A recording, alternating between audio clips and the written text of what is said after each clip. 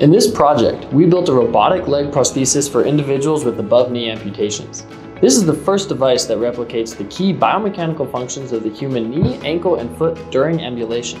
So it helps people with amputation move and live independently. Researchers have attempted to develop robotic leg prostheses since the 1970s, but all previous attempts have fallen short of this target. In the last 20 years, mechatronic technologies have progressed tremendously. Microprocessor, batteries, electric motors have gotten faster, smaller, and lighter.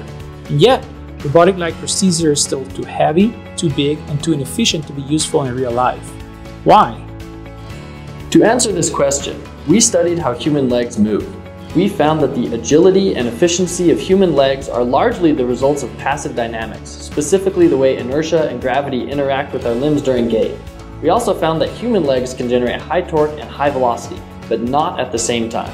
Based on this new understanding of the behavior of the human leg, we designed bio-inspired actuation systems that passively adapt their configuration during gait. These novel actuation systems use passive components like springs and nonlinear linkages to leverage the natural gait dynamics.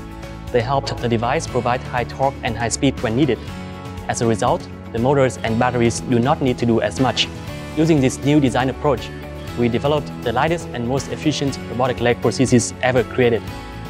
Our robotic leg can enable individuals with amputations to walk naturally and climb stairs one or two steps at a time, as they did before amputation. They can also walk on level ground indefinitely without charging the batteries. There are tens of millions of people living with leg amputation worldwide that struggle with everyday life due to poor mobility with available prostheses.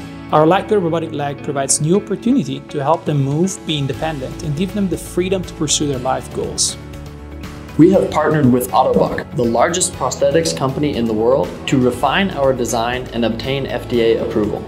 With the support of the National Institutes of Health and Department of Defense, we have started human trials to provide clinical evidence for this technology. We hope to bring this new technology to the people who need it as soon as possible.